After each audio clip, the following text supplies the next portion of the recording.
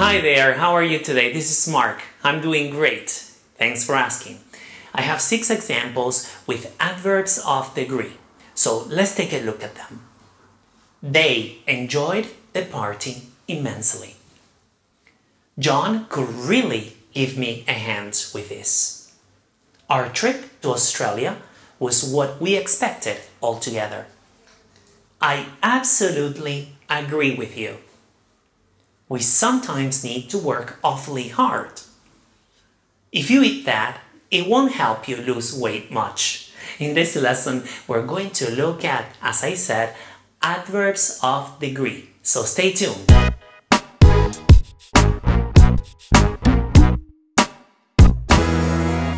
On past lessons, I talked about adverbs of frequency. If you want to watch that lesson, you may click here. This time though, I want to talk about adverbs of degree. And when do we use them? We use them when you wish to give more information about the magnitude of an action, of the verb, or the degree to which an action is done. And how do we form them? Okay, we usually form them by adding ly to an adjective. For example, fair is the adjective, fairly is the adverb. Huge is the adjective, hugely is the adverb. Large is the adjective, largely is the adverb. Entire, entirely, etc., etc. However, there are exceptions. Sometimes an adjective stays the same to become an adverb. For example, hard, hard, and not hardly. Attention. Hard, hard. Half, half. Almost, an adjective, almost an adverb. Very stays the same. Very, very. Well, well. Just, just, etc. There are many exceptions. Most importantly, how do we use adverbs of degree? The first rule, use them in the usual positions of adjuncts. What are adjuncts? Adjuncts are optional elements or of secondary importance in a sentence. Let's look at my introductory example. They enjoyed the party immensely immensely is at the end of the sentence or the clause. We love Lady D dearly. So it's always at the ends of the clause. So it's secondary in importance in the sentence. We do not use the, uh, the adverbs of degree at the beginning of the sentence. Okay? Never.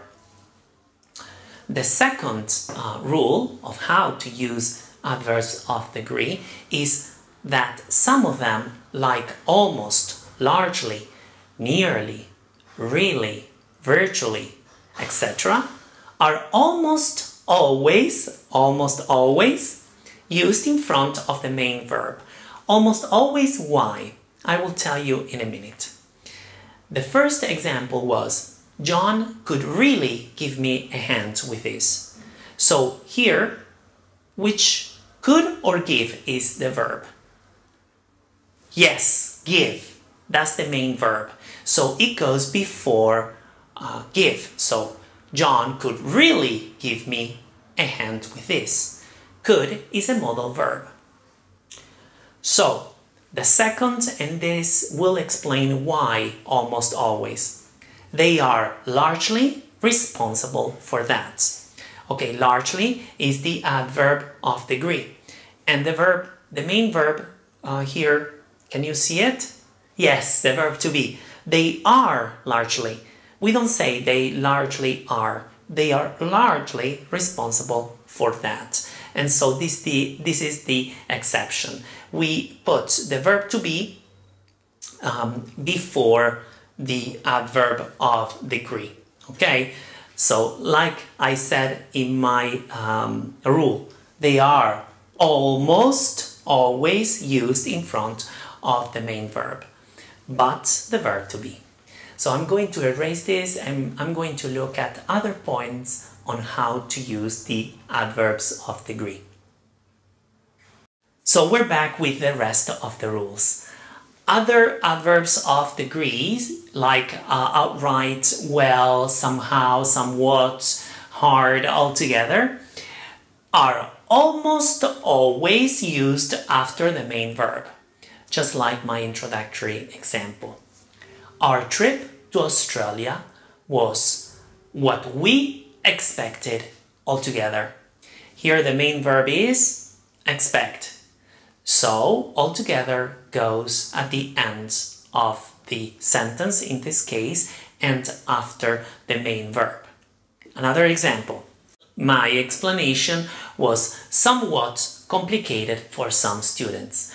And here, like I said before, the verb to be is special, but, but the adverb of degree goes always after the main verb and in this case the verb to be. My explanation was somewhat complicated for some students. Now let's take a look at the, the other rule. When you want to add emphasis to an action of a verb, use just, quite, absolutely, simply, and totally. So let's take a look at the example. I absolutely agree with you. So we have absolutely and agree here is the, the main verb. So it, it is placed before the main verb in this case. Or she totally understood the point. Understand is the main verb and the adverb goes bef before the main verb. In this case, she totally understood the point. We go on the fifth rule Sometimes we use some adverbs of degree in front of other adverbs. They are called submodifiers. For example, like my introductory example, we sometimes need to work awfully hard. Hard is the adverb, and I added a submodifier, which is another adverb, awfully. Awfully hard. So I wanted to modify the um, adverb hard, right? So I added awfully, awfully hard. Another example, her flatmates got on extremely well. So well is the uh, adverb and here extremely well is the submodifier. So extremely well. How um, do they get on? Extremely well. The sixth rule, there are adverbs of degree like much, a bit, most, and worst, for example, that can be used in negative sentences. Like my example, if you eat that, it won't help you lose weight much. So we have if you eat that, for example, a cake or ice cream, it won't, it will not help you lose weight much. Much here is the adverb of degree and this is a negative um, clause. It won't help you lose weight much and so that's why I added much. Another example. Sue doesn't like his attitude a bit. So the negative here is doesn't like. She doesn't like his attitude. He's a very he's a very nasty boy, for example. So a bit is the adverb of degree that I added in this, um, in this sentence. So that's it for today.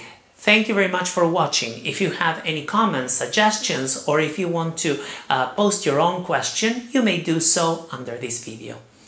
Please don't forget to share the lesson and don't forget to subscribe to my channel. Have a great day and see you next week with a new lesson. Bye bye.